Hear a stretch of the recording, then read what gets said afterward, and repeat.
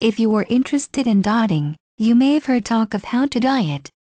I can almost guarantee you haven't heard everything though.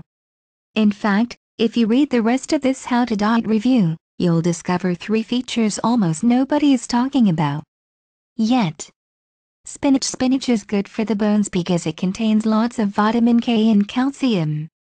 It is a good option for those people who have a vegan diet and need a non-dairy alternative.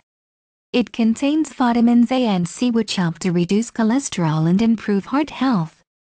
Prostate cancer can be helped to be removed by the compound carotenoid which is in supply here.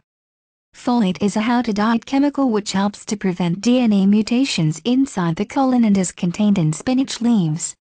Bell peppers a nutritious food which contains vitamin C, B6 and K. These bells can do so much.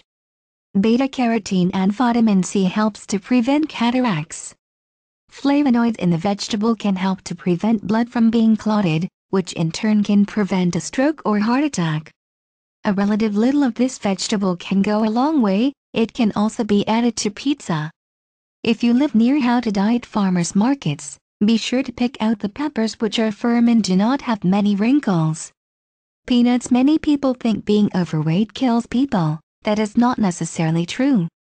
Having an extremely high amount of cholesterol in people's bodies kills people. Peanuts have a high amount of fat, but it is monounsaturated fat, a good how to diet fat people need to eat. In fact diets which are low in fat tend to be unhealthier than diets with high amounts of monounsaturated and polyunsaturated fats.